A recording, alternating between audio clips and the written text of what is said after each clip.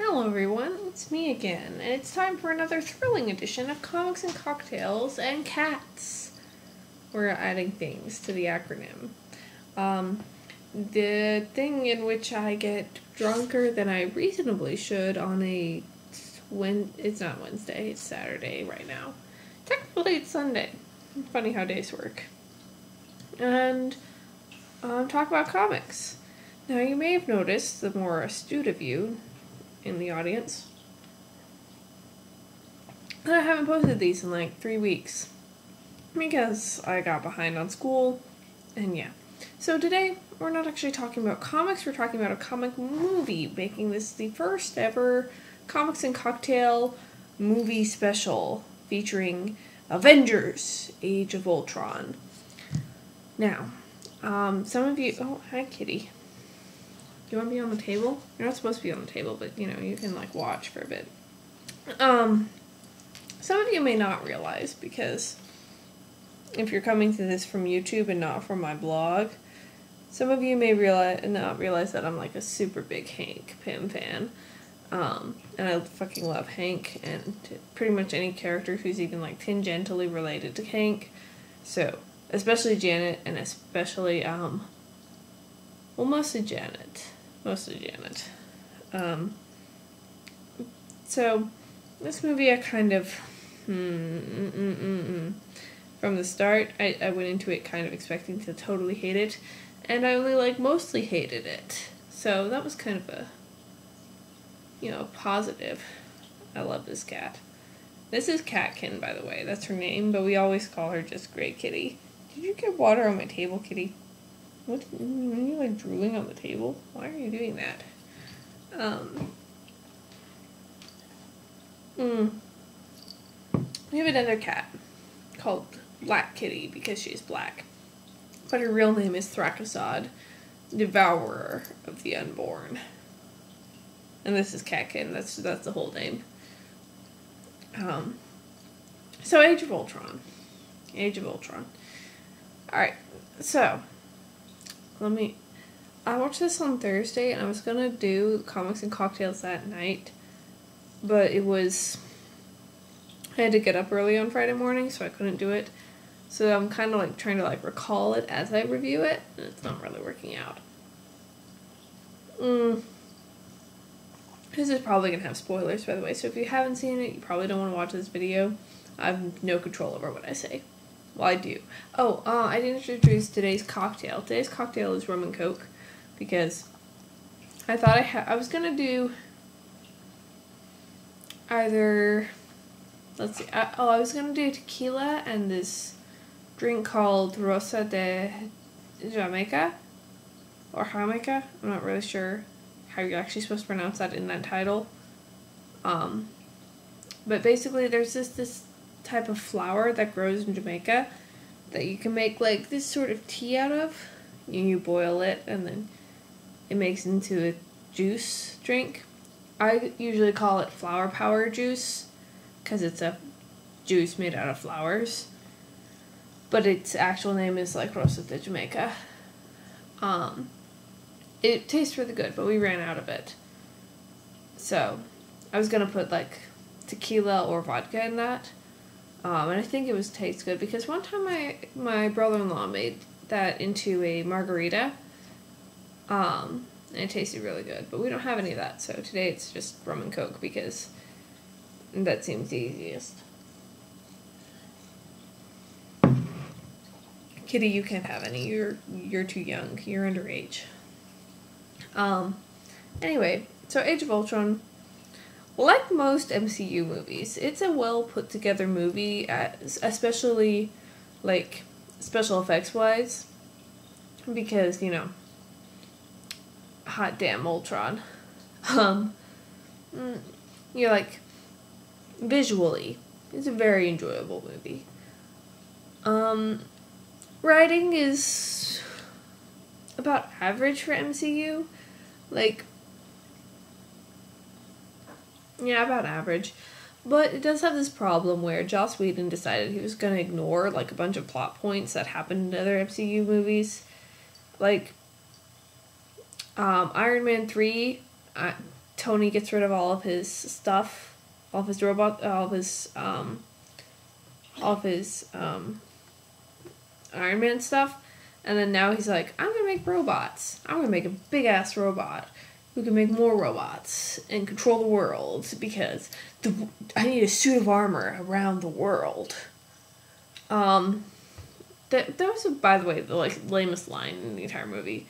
A suit of armor around the world. No, Tony, that's not how it works. We already have a suit of armor. It's called the atmosphere. Um, oh, I wonder if I, Kitty will play with my hair. Kitty, do you see this? Do you see this? Do you want to get it? Do you want to get it? Do you want to get it? Ah, yes, yes, yes. Do the thing. Do the thing. Oh, oh, oh, oh, it worked. Ah, did you see that, guys? I don't know if you saw that. Um, so, okay. I should talk about Age of Ultron, shouldn't I? I don't know. I, I feel like I should have something to like represent Age of Ultron, but I don't. So this kitty is Age of Ultron now. Hello. Mm. Okay. So it's just okay. Number one, changing Ultron's creator is like making Luke's father somebody else. That that's what it's like. It's like if in Star Wars instead of Darth Vader being Luke's father, it turns out that Palpatine is Luke's father. That's what it's like. Only if you like switch who's good and who's bad. That's what it's like. And everybody's like, "Oh, it's just an it's a it's an alternate universe there where Tony made Ultron instead of Hank." And it's like, "No. That doesn't work. It just doesn't work." Um So right away from the very premise, like you can't make Ultron work with somebody else's somebody else making him because the a big part of who he is is based on the fact that he was made by Hank. And you know um not by Tony. And yeah. Um and you know but see, the, the and the biggest problem is that Ultron still talks like he was made by Hank. You know, he talks about, you know, how humanity is, you know, creates things to destroy things and blah blah blah blah blah. And you know how humanity's biggest threat is humanity itself, which isn't something Tony ever said. Tony was worried about aliens he was like, oh, the aliens are coming to get us, Bruce. We have to make a robot to defend us. And Bruce was like, then the only threat to humanity would be humans. And Tony was like, yeah, but we'll get rid of the alien problem. Alien, ow. Ow. Okay. Um, so, to make sense as a character, Ultron should have been like, I will destroy space. But you know, Ultron's I hate humanity thing, um, especially in Avengers vs. Mighty Heroes, comes from Hank's thing about, you know, this is like a flawed system. There's people hurting people instead of helping people, and blah blah blah. And these are problems that I don't know how to fix, and I just want to make peace. And Ultron's like, well, the only way to make peace is to get rid of these like pesky human problems. So look at my look at my arms, by the way. Um, I'm very proud of these. They're like mini guns. Like I have like no. I'm a very skinny person, but like my arms, they're like all muscle and like nothing else. Not very much muscle, but like I I can I can deadlift a baby, so I don't know. Oh. Let's see. Oh, the kitty abandoned me. She's sitting on her tree over there. Oh, by the way, this over here, this is like my brother-in-law's collection of board games, which some are actually over there off camera. But, you know, I get so distracted by my arms sometimes I just want to like flex everywhere. I have a friend who's a bodybuilder. And sometimes he'll like be like just like flexing and when he flexes, it's a lot more impressive because he like has like five muscles pop out and like veins that are like the size of rope, and it's like whoa. But yeah, sometimes he'll just be like flexing. He he has one thing that he calls a horseshoe over here somewhere. Uh, for any of you who knows body bodybuilder stuff, he he's pretty. He's like three times my size, and it's really impressive. Um, but yeah. Mm. Hmm. Anyway. There were good parts of the movie. There were. Don't get me wrong. Um, Hawkeye was good in the movie. And I surprised. I actually liked this subplot with Hawkeye's family because, I mean, it's totally. It has nothing to do with the comics. I, you know, this is totally out of left field, but I enjoyed it. Um, I enjoyed the Nat and Bruce bits, but they I, I wish they'd been more established. Um, I think a lot of the movie's problems could have been solved by having a montage in the beginning instead of just a fight scene. If you'd done a montage, you could have like done like really quick, um, snappy establishing things of you know oh, look, this is these two doing this, this is these two doing this. Stuff is happening. Instead of just like jumping in and going, Tony suddenly has like 50 billion suits and robots, and Nat and Bruce are in love. Woo! How long has this been going on? We don't know. We never answered that question. Um, obviously, there are problematic elements, but I'm not like the watch- whitewashing of the Maximoff twins bothers me. Um, but Pietro's characterization was really good. Like, mm, it, was good. I don't know how true it was to the comics off the top of my head, but I enjoyed it. He was very enjoyable. Wanda, I didn't hate as much as I expected to. I'm kind of just like really neutral on Wanda. I was expecting to really hate the portrayal because um, from like all the promotional stuff, I was expecting her to be Joss Whedon's patented crazy wafy chick like um, River Tam, but Marvel version. Um, let's see. Vision I enjoyed. Um, yeah. I feel like they ran the language joke too much into the ground. Um, hmm. Also, the biggest problem with the movie, besides Ultron being the worst written villain ever, like, I was never once intimidated by Ultron. And I, I was never once worried by Ultron. I never once thought, wow, this guy could fuck the Avengers up. I, there, there was no suspense with Ultron. He was just like, uh, uh, uh, that was Ultron. He wasn't doing anything. He didn't like. He just.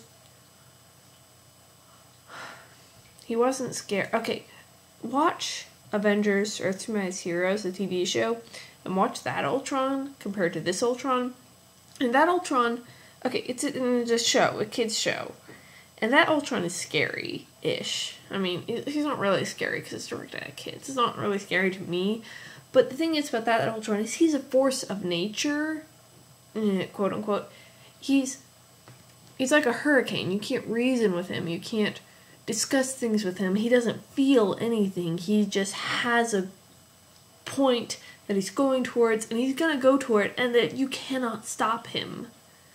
And in Earth's Mightiest Heroes, it takes like all the Avengers are fighting Ultron and losing one Ultron, one Ultron. And in the and in the movie, um, you've got all the Avengers fighting like millions of Ultrons and they're winning. Like they're just tearing through the Ultron bot, uh, like all the little Ultrons, like they're nothing. I mean, it takes Cap like three punches, but Thor takes like one punch and like five of them are dead, so it balances out somewhere along the way. and it's just okay. But the worst thing about the movie is that it's like it's the same.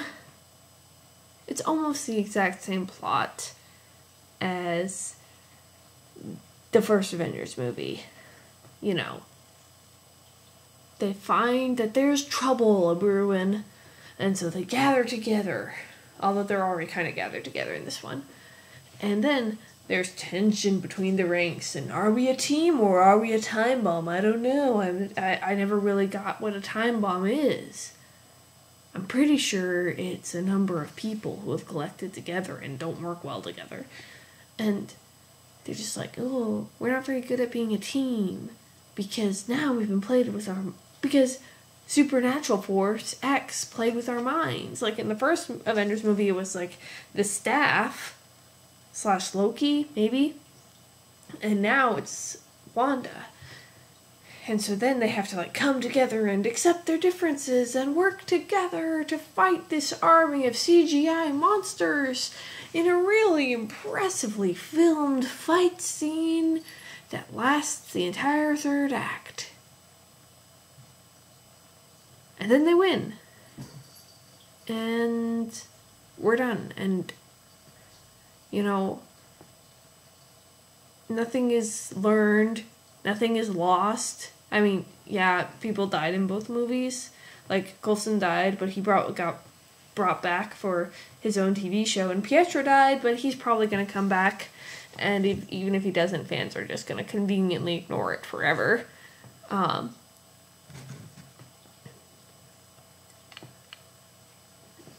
it's just it's the same plot, but with robots instead of aliens.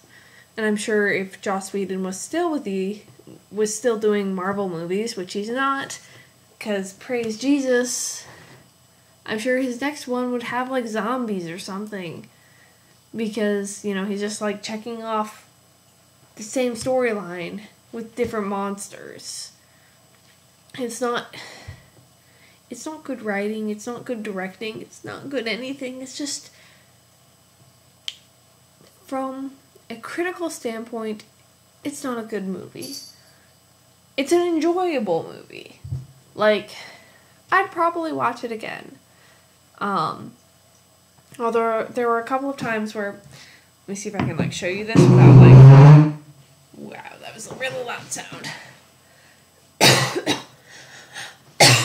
so there were a couple of times where I just like sank down in my chair, like like this, and then one time I sank all the way to the floor, all the way to the floor while I was watching it in the theater. Just because I was just like, this is so bad, this is so wrong. But I'd probably still watch it again. I wouldn't spend money on it again, but I would probably like if it when it comes on Netflix, I'll probably watch it again. It's an enjoyable movie. It's a good like summer flick. But it's not like a good movie. It's not well written. It's not it doesn't do anything new. It doesn't do anything interesting, really. It just, it, and it's not, and it's not your favorite characters from the comics brought to life on the screen. It's your favorite characters from the comics mutilated and stuff on the screen. Yeah, Kitty agrees with me too. And this has been like a really long episode, partially because it's like a special and partially because I just have so many. Uh, oh, I'm just, I'm so mad. And this isn't even the first time that there's been a Marvel movie that made Hank Ultron's creator instead of Ultron, instead of Hank. What? This isn't the first Marvel movie that's made Tony Ultron's creator instead of Hank. Because they did it in that next Avengers movie with like the baby Avengers, who are like kids of different of random pairings of Avengers.